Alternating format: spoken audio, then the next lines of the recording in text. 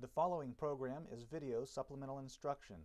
VSI is brought to you by the Teaching Center, UF's Learning Support Center, www.teachingcenter.ufl.edu.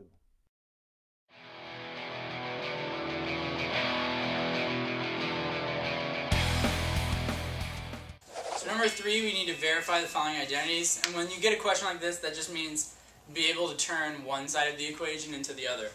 So we're starting with the following for 3a. We have cosi cosecant squared theta minus 1 over cosecant squared theta. And we want to show that that is the same thing as cosine squared of theta. So what you should notice here is that since we have cosecant both in the top and the bottom and our denominator is only a single term, we want to split this into two fractions. So this is really cosecant squared theta over cosecant squared theta minus 1 over cosecant squared theta. So this is obviously 1. We have the reciprocal of cosecant squared. Cosecant is the reciprocal of sine, so to flip that around, that's just sine squared. And you can see here that this is your Pythagorean identity. Since sine squared plus cosine squared equals 1, 1 minus sine squared is just cosine squared, and that is the same thing as what that was supposed to be. For part B, we have one that's a little bit more difficult. So we have 1 over 1 plus cosine theta plus 1 over 1 minus cosine theta. And we want to show that that's equal to 2 plus 2 cotangent squared theta.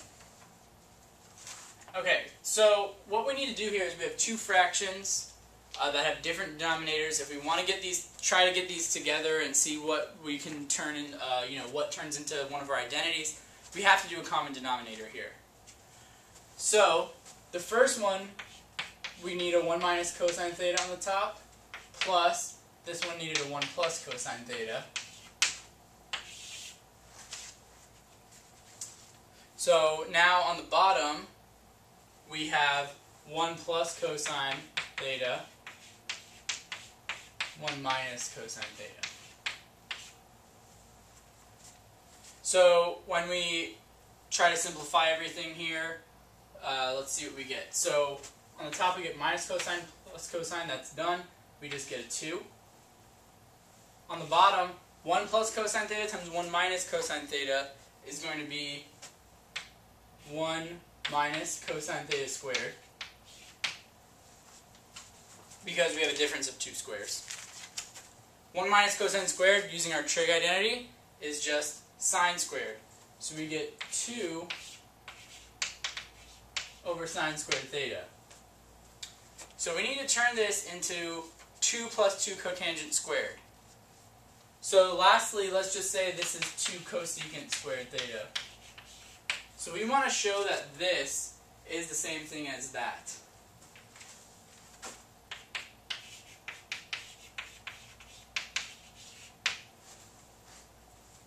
Well, this comes into our other forms of the Pythagorean identity. Not only do you have that sine squared plus cosine squared equals 1, but you can think of it as if you divide everything by sine squared, you have this other identity that comes out, which is 1 plus cotangent squared theta equals cosecant squared theta. That's one of our other Pythagorean identities. So what we can do is to try to get this to be equal let's, instead of our cosecant squared, remember, we're trying to get it equal to this, so you only need to work with this side of the equation. Instead of cosecant squared, let's write that. So we have 2, but instead of cosecant, we're going to write 1 plus cotangent squared theta. And now you can see that if you distribute the 2, you get 2 plus 2 cotangent squared theta. That's exactly what we were supposed to get so that this identity is also verified then. The Teaching Center, UF's Learning Support Center, www.teachingcenter.ufl.edu.